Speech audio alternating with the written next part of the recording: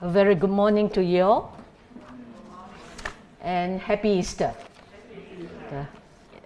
It's nice to be back in Shuang Lien to preach this morning on this special day and also a day in which we celebrate the risen Christ.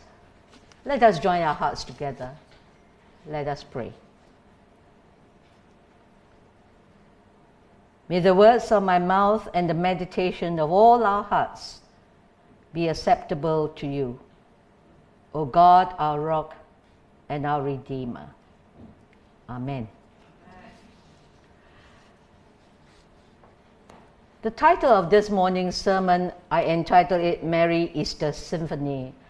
Actually, it should be Mary Magdalene's Easter Symphony because sometimes we mistaken the Mary because there's also Mary in the Gospel of Luke, which is the mother of Jesus. But there is also Mary Magdalene, which is not the mother, who is not the mother of Jesus, but Mary who comes from the town called Magdala. And so that's why we, we associate Mary Magdalene as someone who comes from the town called Magdala, Mary Magdalene. So I want to make some corrections to the title of this sermon and call it Mary's Magdalene Easter Symphony because in the Gospel of Luke we have also Mary's Song, which is a very different one. That is the song that is sung by the mother of Jesus at the birth of Christ. So this morning we will look at Mary Magdalene Easter Symphony, in which you could read from, from John's passage, chapter 20, verse 1 to 18, which I want to focus on verses 11 onwards.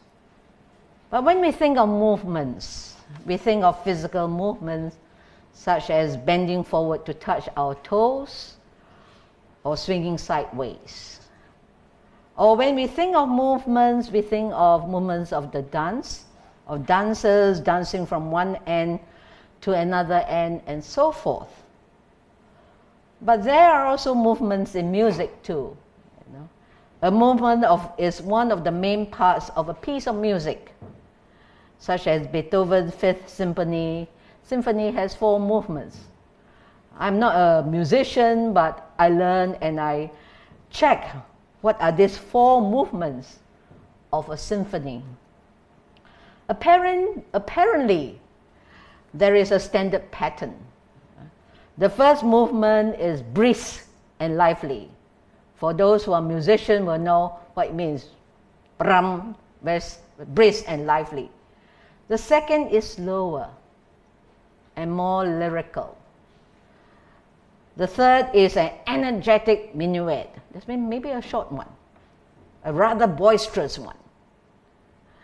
And the fourth is a carefree and rowdy finale.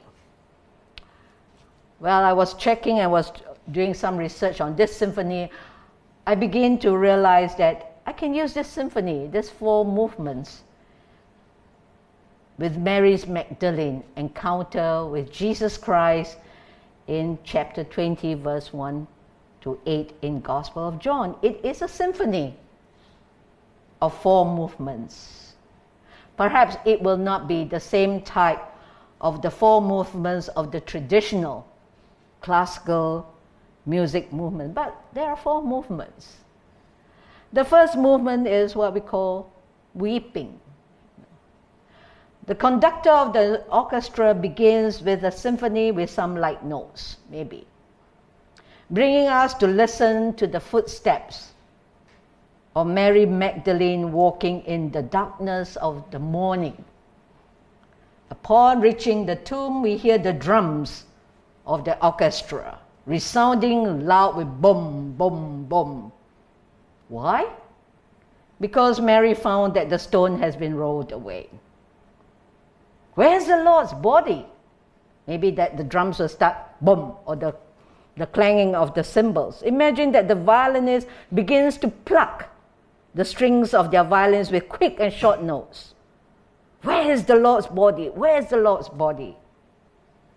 And then the symphony moves to moving to Mary, to Mary standing outside the tomb weeping. Weeping. So remember, this is a symphony about Mary's Magdalene. So I have missed the part of Peter and the beloved disciple, which will come later. But this is a symphony that is attributed or composed in the light of Mary's Magdalene. So Mary Magdalene was overwhelmed with the loss of Jesus' body. So there was an exchange. Imagine there was an exchange of all the different musical instruments in the orchestra. She was so focused on the loss of the body of Jesus that she obviously did not even show any surprise when she was even addressed by the two angels. Seeking Jesus, looking for Jesus is a good and positive thing. But the grief of Mary has so overwhelmed and so blinded her that she was not able to recognize Jesus when Jesus was revealing to her. Imagine that the music of the symphony becomes somewhat slow and sad because of Mary's response, her inability to recognize this Jesus who was standing before her, thinking that he was the gardener.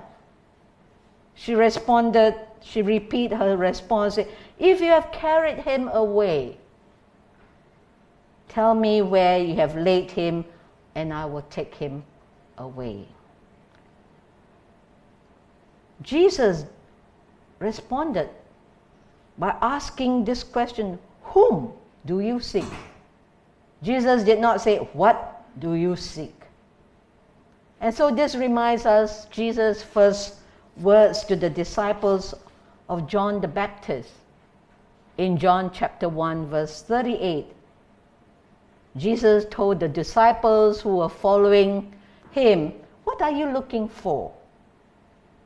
And here Jesus is asking the question to Mary not what are you looking for, but whom? Who are you looking for? Jesus challenged her weeping, trying to refocus. Mary's upset attention, Mary's focus on the physical body to this person who is standing behind in front of her. Mary was fixed and obsessed with a missing body, a physical body. The focus to what rather than to who. So Jesus asked, Who are you looking for? Jesus did not ask, What are you looking for? And so the slow and comforting rhythm of the movement could be heard in the words of Jesus to Mary Magdalene Who are you looking for? Who are you seeking? It is an invitation to Mary, an invitation to Mary to surrender her obsession with the physical presence of the earthly Jesus. And Jesus is preparing her to cross to cross over to understand a new perspective of who this Christ is, who this Jesus is. This Jesus is not that physical, earthly Jesus whom you have heard, whom you have been, but this earthly Jesus is the resurrected one. Is also the resurrected one. What are you looking for? Has been turned into a question of who is looking for. This who is looking for is a question of a new start. It is a new beginning. It is a new story. It is a new store. It is a new ministry that is beginning for Mary and the rest of the disciples. This reminds me when we go shopping at Watson or Poya or one of the shopping center. Uh, when you're looking for something, you know, and some some of the helper, the attendant will come and look and ask you, "What are you looking for?" 你在找什么？我可以帮你吗？Can I help you? Maybe I can help you. And then it's like, what are you looking for? But Jesus did not say, what are you looking for? Jesus said, who are you looking for? And so at this Easter morning, Jesus is asking the same question to us individually and also corporately as a church. What are you looking for? Who are you looking for? Who are you looking for in our lives? Are our tears, like Mary's weeping, blinded us? Blinded us so much that we are not able to recognize Jesus, the resurrected one who is in our midst, but still looking for the body of Jesus who is no longer in the tomb. Mary was looking for the body of Jesus, but Jesus did direct her from a body to his physical presence in the presence of Mary. So, this is the first movement. And just imagine that the first movement of this symphony gently moves to the second movement with equal gentleness and comfort. The second movement, I entitle it as Turning. Mary at the address of her name, Mary, Mary turned. Mary turned and Mary called him Rabboni, which was translated to means teacher. Just one word, Rabboni. Just one word, Mary. And I could imagine at this point of the symphony, the brass the instruments of the of the of the orchestra will play a short beat. Ba ba ba ba. Wow, such a resounding, maybe short ones. Mary, Jesus called her name. Rabboni, Mary Magdalene responds. When Jesus called Mary's name, it reminds us of a teaching, a long teaching that Jesus did what we call the shepherd discourse. He's talking about I'm the good shepherd in John 10. Jesus continued to say, I'm the good shepherd. Who is this good shepherd? He said, This shepherd knows his or her sheep by name and leads them out. And the sheep will hear his or her voice and follow him. Follow this shepherd. And so here we see Jesus know his own. Jesus knows his own as much as the Father knows him, and he knows the Father. In John 10, verse 14 to verse 15, Jesus says, I'm the good shepherd. I know my own, and my own knows me. As the Father knows me, I know the Father. Jesus calls his sheep by name and they know his voice and follow him. And certainly, the sheep does. Because Mary respond is Rabboni.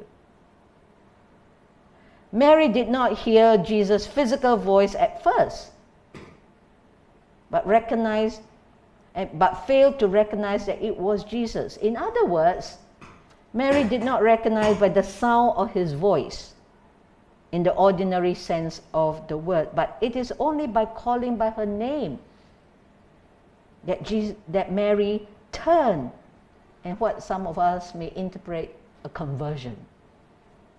A conversion.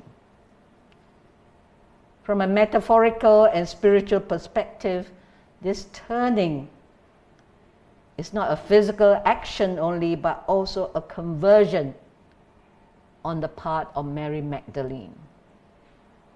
Mary, the pre Easter disciples, has to turn away from the things that lie behind. Mary's insistence that the absence of Jesus' body constitute the absence of the living person of Jesus, but this is not to be so.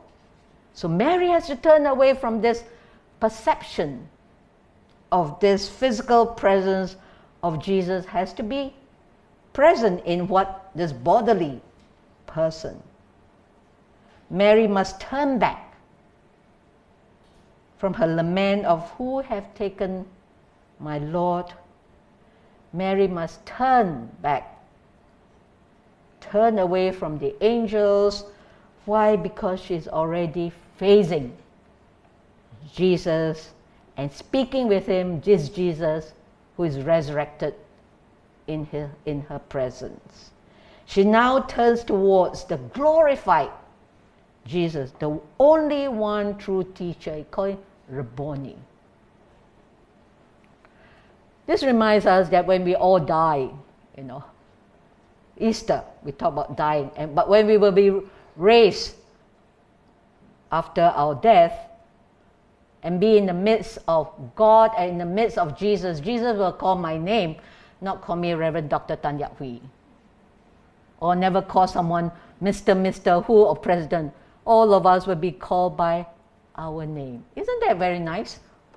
No? I'll be called Yak-hwee, you'll be called Kenneth, you'll be called Michael, you know. And that's what it means when Jesus said, My shepherd. Uh, the shepherd will call his sheep by name, and we will follow him. And so here we are in the second movement of the Mary Magdalene's Easter Symphony, what about us? At this Easter time, Jesus invites us to face Him as He is truly risen and standing before us. What is our response? If we think that this is the end of the symphony,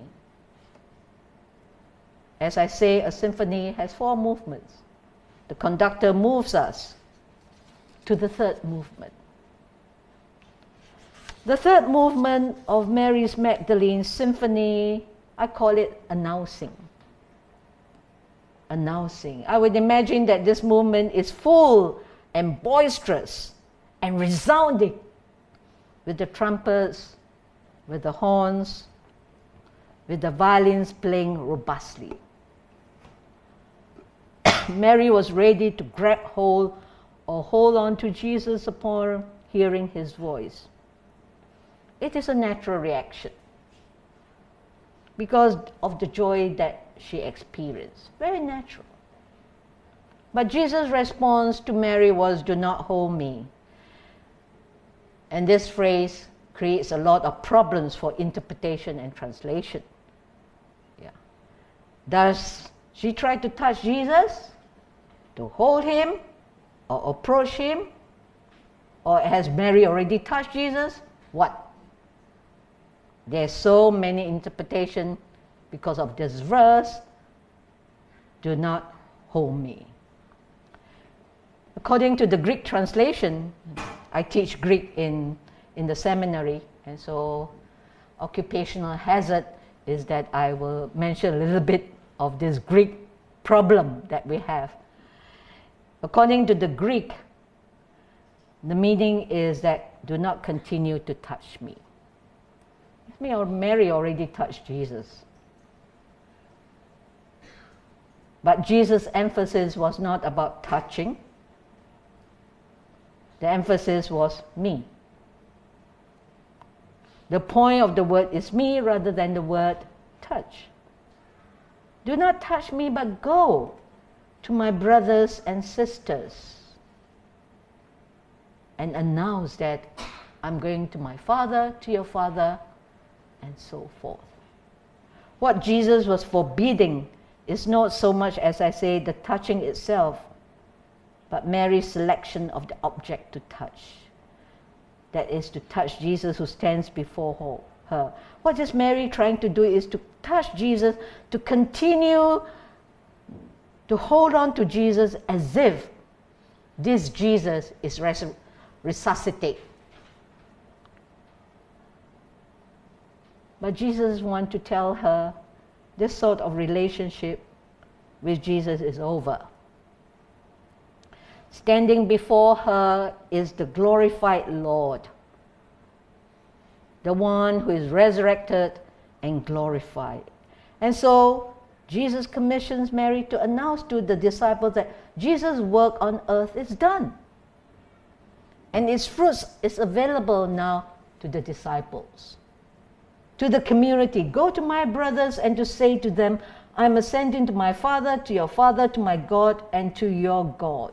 And this message was not only an affirmation of what Jesus has finished his work on earth, but that there is a new life that is available to all who trust him.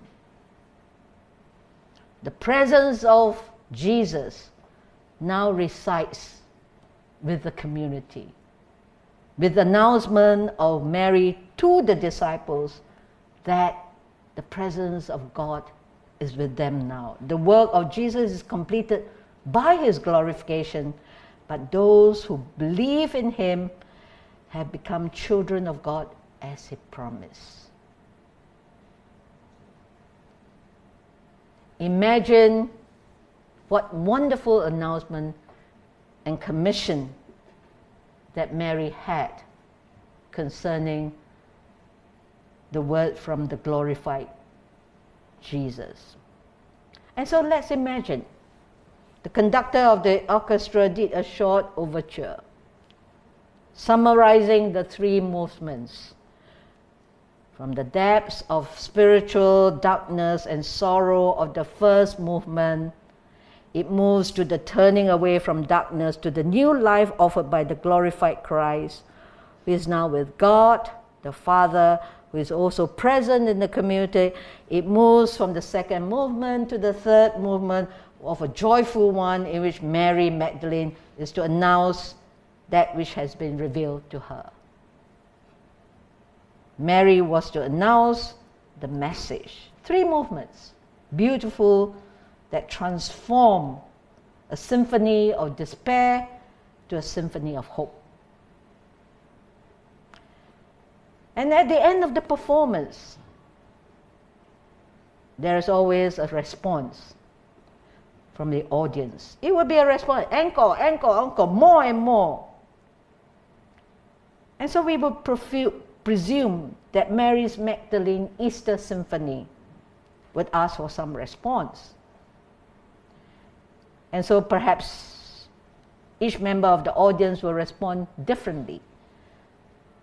Some will respond to the first movement, some will respond to the second movement, or some will respond to the whole three movements. Before the beginning of the first movement, as I said, there was a small overture of Mary telling Peter that the stone has been moved for he jumped into the conclusion that the body of Jesus is no longer in the tomb. And so we move on to the fourth and the final movement. We come to Peter and his disciples and Mary. As I say, the fourth movement is an invitation. As I, I say, the fourth movement is an invitation. If an invitation to respond we have Peter and the disciples whom Jesus loved ran towards the tomb. But the disciples whom Jesus loved did not enter the tomb first, but he waited for Peter. We guess that the disciple whom Jesus loved was much younger, so was more faster runner than Peter, but also in terms that he respected Peter as being the senior member of the twelve. So he let Peter get in. Peter indeed discovered the empty body, but we never know Peter believed or did not believe because the text did not say that he believed, but we know one thing that the disciples whom Jesus saw, loved, saw, and believed. Just that. So the fourth movement of this Mary Magdalene symphony bring us back to the very beginning of John chapter 20. In the response of the disciples whom Jesus loved, he saw and believed. Perhaps the disciples whom Jesus loved remembered the words that Jesus spoke on the last day the last, their last meal together, Jesus said, I have overcome the world. The empty body in the tomb is the assurance of Jesus' words that indeed he has overcome the world. And so the response of the disciples whom Jesus loved is an active response that Jesus indeed has risen and responds to do whatever Jesus will will him to do. And likewise for Mary. Mary went back to tell the disciples all the things that Jesus had said to her. The fourth movement is what we call a fine, the finale of boisterous as an invitation to believe for what has happened after the three movements. Perhaps at the end of all the Easter, Mary Easter Symphony, we all will stand and sing the rousing Hallelujah chorus of Handel's Messiah. Hallelujah, hallelujah, hallelujah, hallelujah, King of kings, Lord of lords. Of course, this is Mary Easter Symphony. And that might be our symphony and standing up and sing, indeed, Jesus Christ is risen. He is the King of kings and Lord of lords. Let us pray.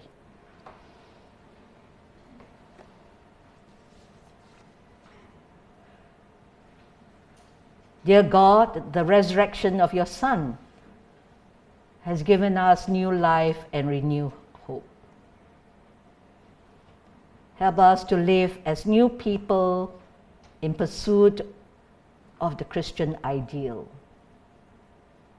Grant us wisdom to know what we must do, the will to want to do it, the courage to take it, the perseverance to continue to do it, and the strength to complete it. For the sake of Christ, we ask all this our prayer. Amen.